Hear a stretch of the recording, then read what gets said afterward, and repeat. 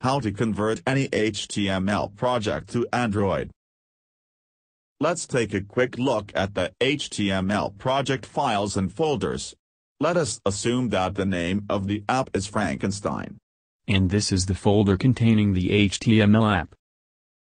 We see the folders containing the CSS, the images, or resources, the JavaScript files and the main HTML file.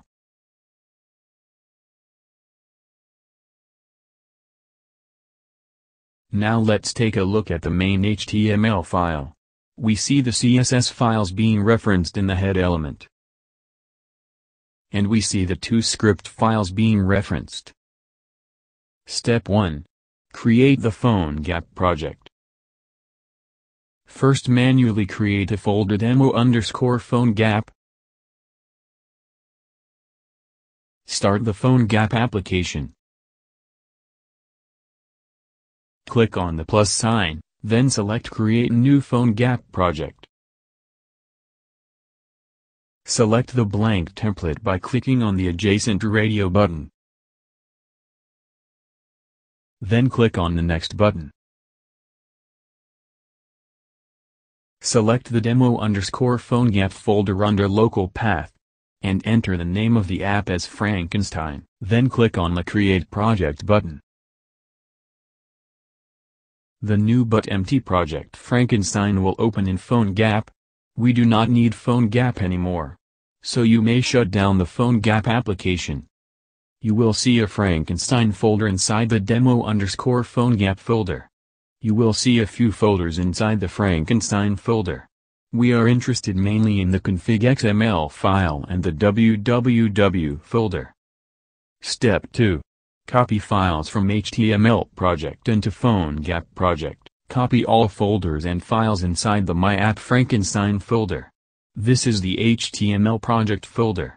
Now go to the www folder inside the PhoneGap Frankenstein folder. Paste the files and folders you copied from the HTML project into the www folder.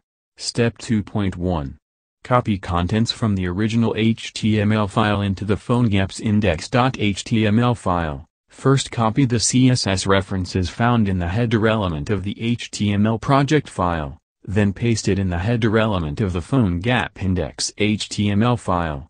Copy the code found in the body element of the HTML project file, including any scripts or references to scripts. Paste it inside the body element of the PhoneGap index HTML file. Copy any references to scripts that are outside the body element of the HTML project file. Paste it just above the reference to the Cordova.js script in the PhoneGap index HTML file. Step 3. Install Node.js. Go to the site shown. Download and install Node.js. Step 4. Install JDK. Check if JDK is installed on your laptop. Note that JRE won't do. You can run the command javac-version to check if JDK is installed. Else download and install it from the Oracle website. Ensure to set the path to the JDK bin folder in the environment path variable. Step 5 Install Android SDK. Go to the Android developer website. Download and install SDK. Remember you need not install the Android Studio. Just the Android SDK would suffice. Navigate to the root folder of the recently installed Android SDK and copy the path. Create an environment variable called Android underscore home and paste the copied path. This completes part 1 of the process. For the rest of the steps please watch part 2 of the series. Thanks for watching. Please subscribe, share and like. Thank you.